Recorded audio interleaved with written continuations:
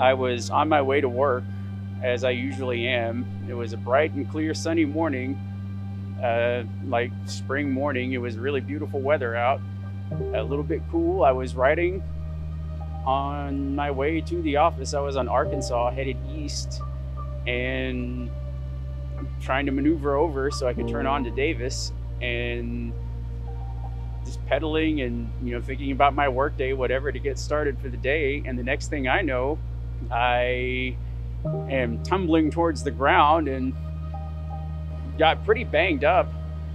I was still able to stand up and walk around under my own power, but I, it, I was really beat up and my bike was beat up. My wheel was crushed.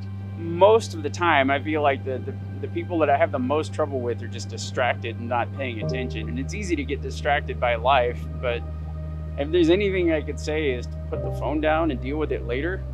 It's really easy to slam into somebody and permanently change your life and theirs. And the most important thing you can do is have a helmet on your head. I don't know how well the camera can see it, but this is what's left of the helmet that was on my head when I got hit. And you can see I have what's left of the helmet and the rear wheel too. It was pretty rough. And for more tips on cycling safety and how to interact on the roads with other cyclists, pedestrians, and motorists, visit lookouttexans.org.